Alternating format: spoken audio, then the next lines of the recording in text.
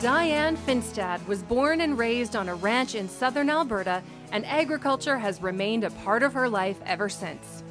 Dianne has specialized in rodeo and agriculture reporting for more than three decades, covering the stories of rural news with a passion matched by few.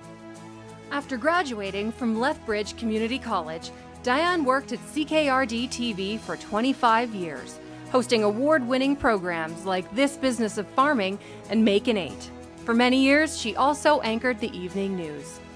Her coverage of the rodeo circuit has taken her to infields in Alberta's small towns and to the biggest rodeo events in North America the Calgary Stampede, the Canadian Finals Rodeo, and the National Finals Rodeo in Las Vegas. When they get that championship, you know, just to watch that transformation and to see the realization that they've made it, uh, that is cool to be part of that. And sometimes you know, when you're the first one there to see that, uh, that, yeah, you feel like you've really shared a special moment in their life. And so that becomes a special moment for us too as reporters. Dianne continues to cover rural life for numerous publications as a freelance writer.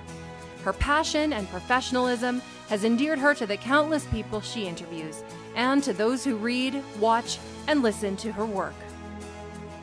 Ladies and gentlemen, Please welcome to the Alberta Sports Hall of Fame 2018 inductee, Dianne Finstad.